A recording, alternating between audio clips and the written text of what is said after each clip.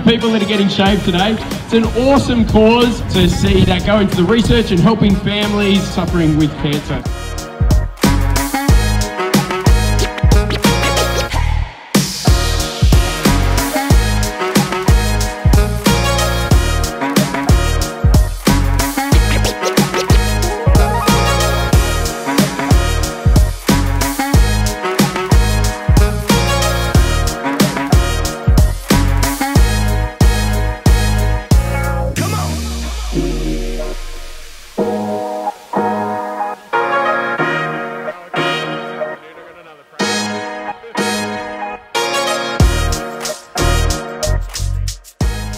Big special thank you to the shavers that came along today and the Senate for organising this event.